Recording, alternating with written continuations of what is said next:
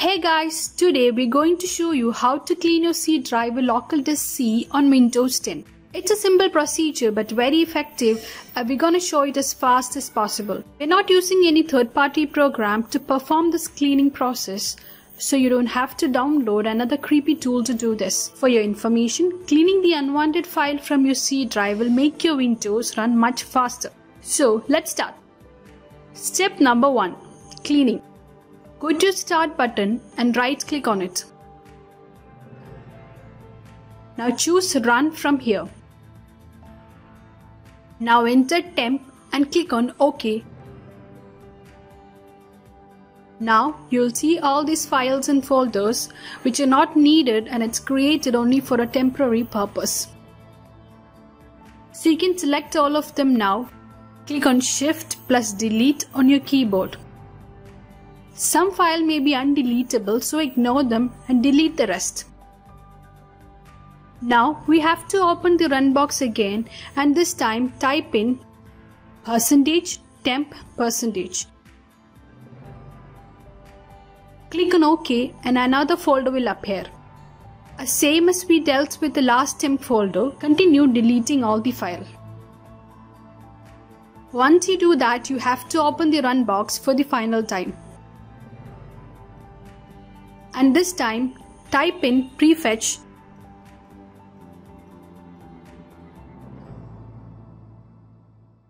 Now you'll see another folder open and maybe it asks you for the permission to access the files. In that case, click on continue. And the files and folders will be revealed to you. Now do the same thing you did with the last two folders. Select all and hit shift plus delete and that's it.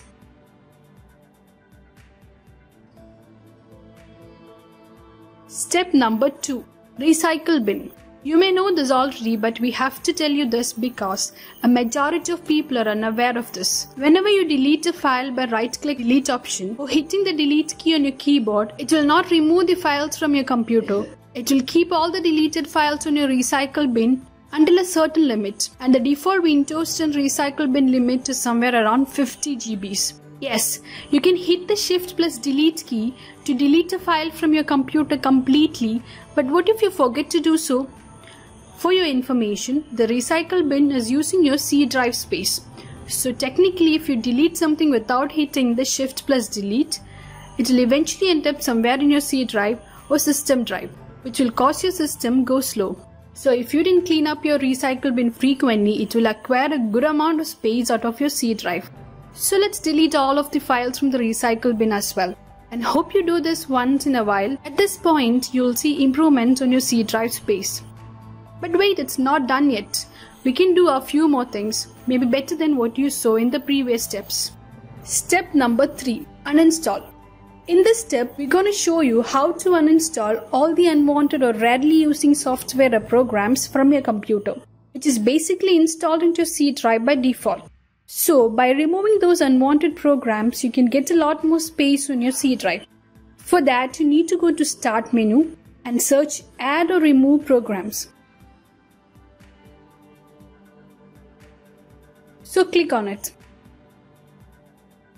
Now it will open the Windows Settings app and feature window. So come down and uninstall each and every rarely using or unwanted programs. It's just a matter of clicking the uninstall button and follow the on-screen instructions.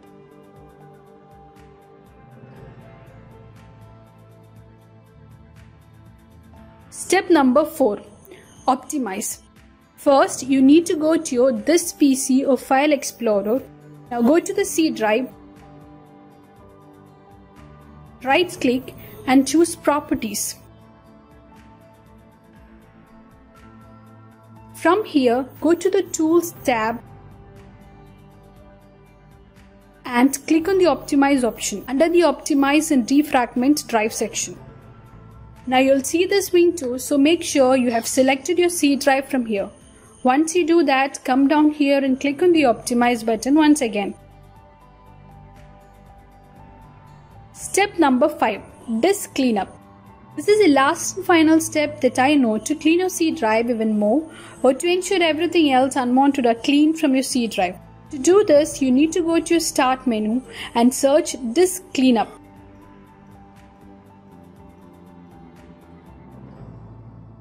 Now you'll see it on the result, so click on it.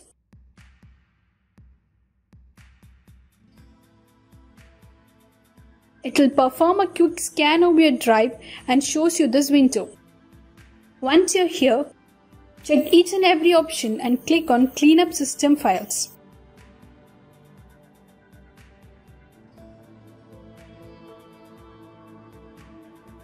It performs a deep scan. Once it is finished, it will open this new window, same as we dealt in the previous windows. Select each and every option from here as well. Now click OK and delete files. The cleanup process may take a while, so let it finish. That's all we can do to clean up your C drive. Hope you're experiencing a performance boost, free up space, and a more enhanced system responsiveness. So that's all for today. Leave a like if you liked and subscribe if you loved. See you soon with another video.